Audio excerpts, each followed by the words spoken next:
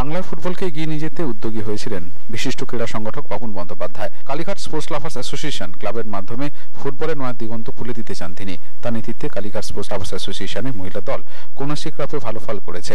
এবার তার ক্লাবকে এগিয়ে নিয়ে যাওয়ার দিকে আরও এক ধাপে গেলেন তিনি। শুভ অক্ষয় তৃতীয়ার দিন রবীন্দ্র সরোবর স্টেডিয়াম সংলগ্ন কালীঘাট স্পোর্টস লাভার্স অ্যাসোসিয়েশনের নতুন ক্লাব ঘরের শুভ উদ্বোধন হলো। এতদিন যারা রবীন্দ্র সরোবর স্টেডিয়ামে প্র্যাকটিস করতেন তাদের জন্য ক্লাব ঘর ছিল না। এবার সেই সমস্যা দূর করে দিলেন বাবুন বন্দ্যোপাধ্যায়। তার এহেন উদ্যোগকে সাধুবাদ জানালেন সকল ক্রীড়াপ্রেমী মানুষ। ফুটবল একাডেমির খেলা এবং কালীঘাট পোস্টলাভার্স অ্যাসোসিয়েশনের সমস্ত কর্মসূচি রাখি বন্ধন উৎসব থেকে ইফতার পার্টি থেকে শুরু করে দুর্গাপুজো থেকে শুরু করে কালীঘাট পোস্টলাভার্স অ্যাসোসিয়েশনের সবই হচ্ছিল আমাদের কালীঘাট পোস্টলাভার্স অ্যাসোসিয়েশনের সবচেয়ে বড় দুর্গাপুজো হচ্ছে যে দুর্গাপুজোটা পাশের একটা বড় ক্লাব ছিল, সেটা হচ্ছে কালীঘাট মিলন সংঘ। তার চেয়েও আমরা বড় পুজো করে ফেলেছিলাম বলে আমাদের পুজোর নাম কিন্তু সারা ওয়েস্ট বেঙ্গলে একটা ভালো জায়গায় পৌঁছে গেছিল। আজকে football team ISA third division হওয়ার পরে আমরা আনবিটেন চ্যাম্পিয়ন হয়েছি। ইভেন কন্যাশ্রী কাপে আমরা সেমিফাইনালে এসএসবির সঙ্গে হেরেছি। কিন্তু হারলেও আমরা মানসিকতায় হারিনি। আমরা, আমাদের বাংলার ছেলে মেয়েদের নিয়ে আমরা ভালো খেলেছি। ইন্টারস্টেটের প্লেয়ারদের সঙ্গে কিন্তু আমরা হার মেনেছি। আজ আমরা সেকেন্ড ডিভিশন টিম তৈরি করবার জন্যে একদম সুন্দরভাবে দেবাশিসদার পূর্ণ সহযোগিতা আছে।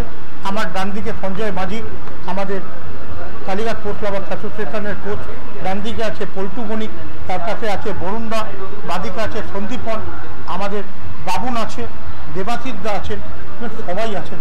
আমি একটা জিনিস মনে করি যে এই ক্লাবটা খুব কষ্ট করে তৈরি হয়েছিল।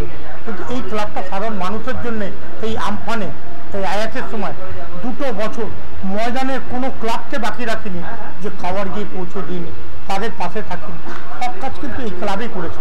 তাই আজকে এই রবীন্দ্র সরোবরে একটা ক্লাব তৈরি হলো, হাওড়ায় একটা ক্লাব তৈরি হয়েছে, দার্জিলিং ওই কালীঘাট পোস্টলাভার্স অ্যাসোসিয়েশন একটা ক্লাব তৈরি হয়েছে।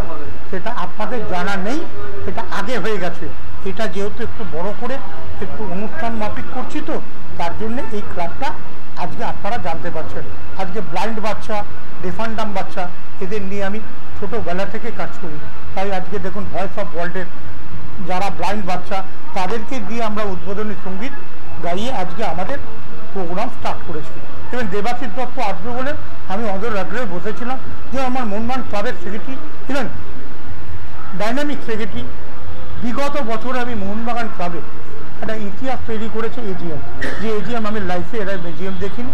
যে কাজ করেছে, আমি সত্যি রিপোর্ট, চ্যানেল টেন।